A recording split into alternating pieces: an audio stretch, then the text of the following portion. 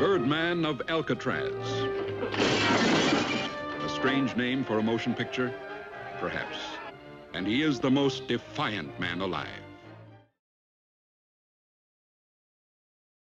Come on, boy, come on. Come to the King of Welsh you are. He's a good boy. Yes, yes, a good boy. Good boy. Good boy. Oh, hello. What wouldn't I give to be able to fly like a bird? To soar above these prison walls and feel the warmth of the sun on my face again. See the flowers and hear the children's laughter.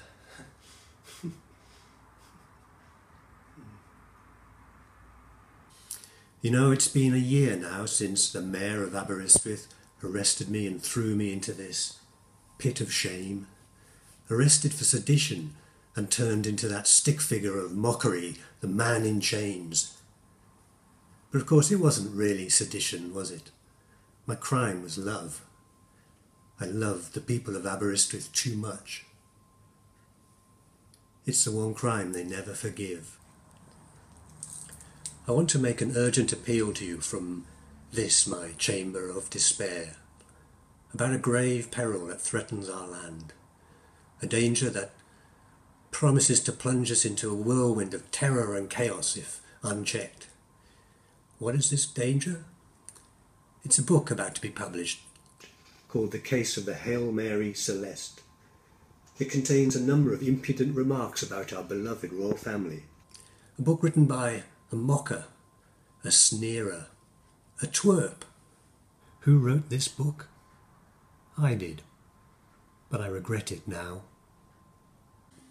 The book reveals the reason the royal family had to change their name hurriedly in 1917. You did know about that, didn't you? They used to be called the House of Saxe-Coburg and Gotha, which is German, and then they changed it to the House of Windsor.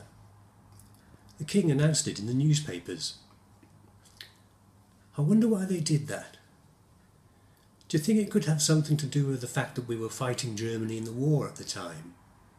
Ostensibly, this book is a work of detective fiction about a man called Jack Wenlock, who works as a railway detective on the Great Western Railway in 1947. He takes as his final case, his swan song case, the greatest mystery in the annals of railway law, about a party of nuns who disappear from a train in 1915. They were travelling from Swindon to Bristol Temple Meads and vanished into thin air.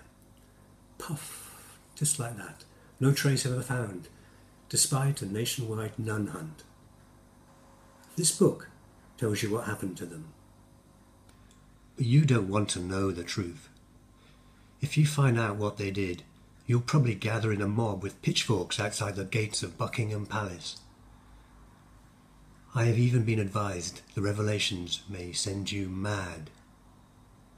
I know what you think. I know what you think. You're saying, yeah, but the people who read your books are already bonkers, aren't they? Yes, it's true, they are. Mad as March hares, the lot of them. But they can still eat solids. In view of all this, I've been forced to take the unusual step of banning my own book. I've written to my publisher and told them not to publish, but they wrote back and said, It is too late. The case of the Hail Mary Celeste will be published on 15th of March. The damn crazy fools. Friends, we must act now. You must tell everyone you know not to read this book before it is too late. That is, unless you want to see this beautiful land of ours torn apart by revolution.